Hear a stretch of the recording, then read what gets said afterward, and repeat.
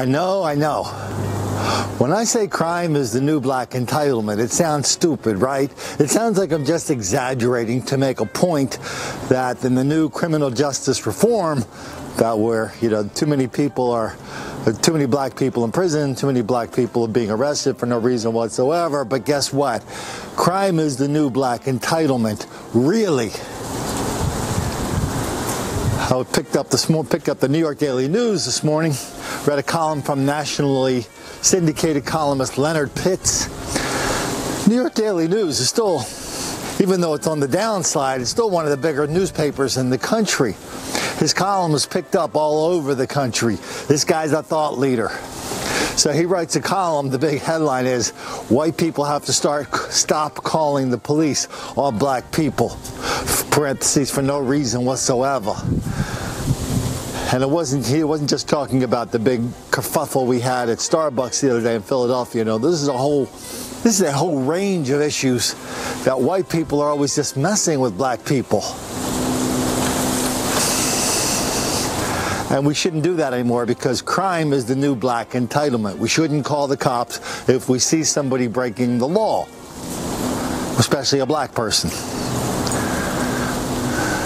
That's kind of strange, isn't it? It's hard to believe unless you actually saw this being published in a major daily newspaper. Well, there it is. It gets stranger. It gets a lot stranger. Why don't we head down to Baltimore? They had a hip hop concert there in Baltimore the other night. Hip hop concert, you know, where they celebrate guns, drugs, money, bitches, and violence as part of the black culture. The chief of police of Baltimore, police commissioner, I think they call him, he goes on stage at the hip hop conference and apologizes for 200 years of white racism directed at black people in Baltimore, especially the cops, messing with black, black people in Baltimore. Because we all know in Baltimore, there's never any reason to call a cop on a black person because black people are relentless victims of, of, relentless white racism all the time, everywhere. That explains everything. Don't you know that? Space to destroy anyone. That's Baltimore. Baltimore's police commissioner takes the stage during a hip hop concert downtown alongside the mayor. He addressed the crowd, but it appears many weren't interested in what he had to say. I want to take about 20 seconds I want to take about 20 seconds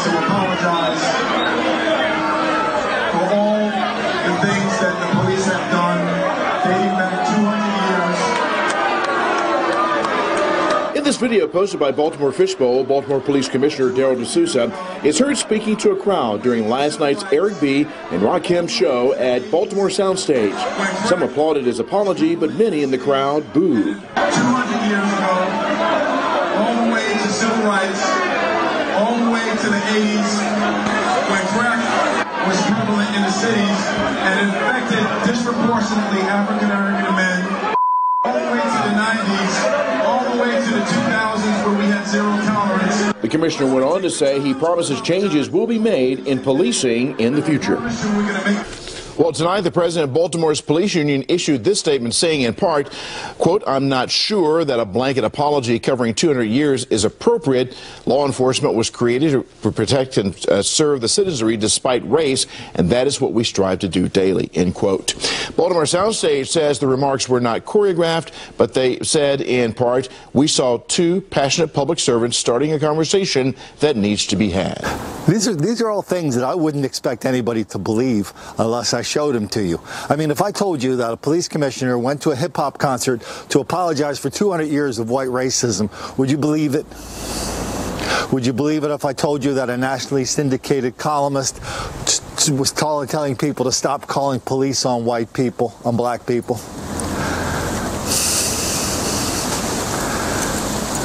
That's, I mean, every day it's something more unbelievable than the day before. We did a story a few few months ago on a place, a neighborhood in Philly called Brewerytown. This is your classic uh, gentrified neighborhood. Black neighborhood. Some of the hipsters move in with their coffee shops, their restaurants, their $13 alfalfa sandwiches or whatever they have there. And they have a gym.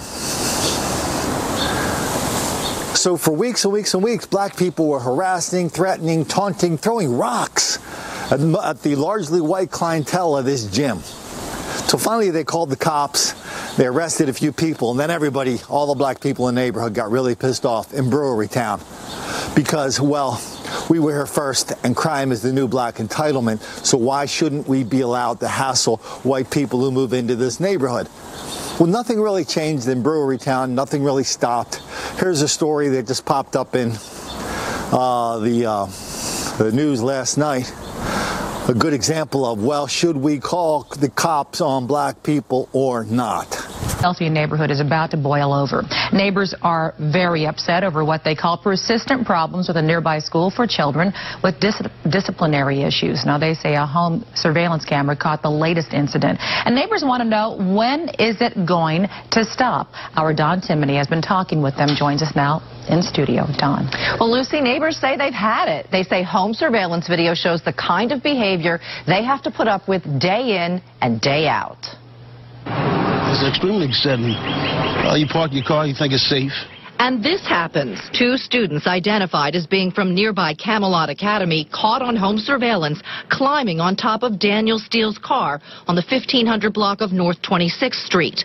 The pair jumping up and down like the car's a trampoline, leaving large dents in the roof. These kids get out of school and run up and down the block unruly, vandalize and jump on people's cars. It happened Wednesday afternoon just after 2.30. But people in this Brewerytown neighborhood say it's not the first time they've witnessed bad behavior by Camelot Academy students. This woman, who doesn't want to be identified, is fed up. There's constantly fights coming out of that school.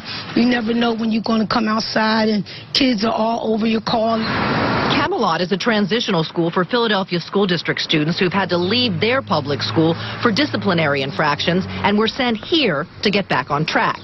Kevin Gill works on the block and says the situation is getting out of hand. It's, you know, it's been excessive and it's been happening often.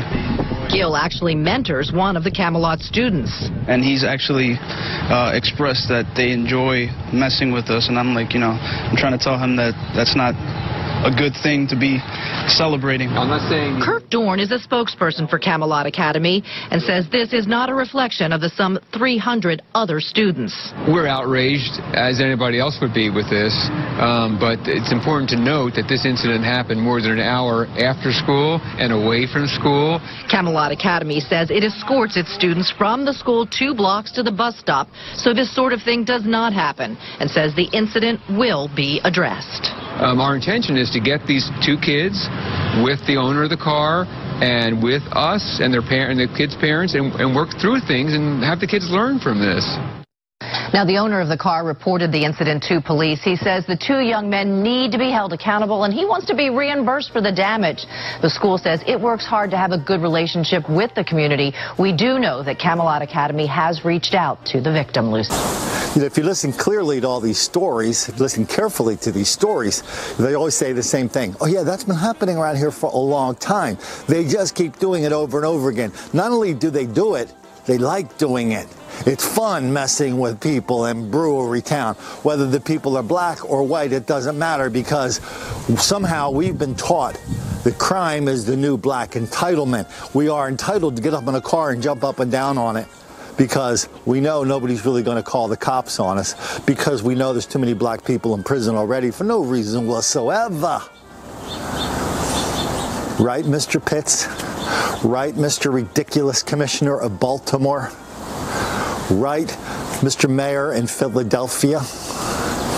It is the official policy of police in all these different places now. We are not going to arrest black people, no matter what. Unless you know, they kind of force us to. Jumping on a car, that's nothing. Is there a hip hop concert around here somewhere I can apologize for that? But as we found out from watching that hip hop concert, even apologies make the black kids angry.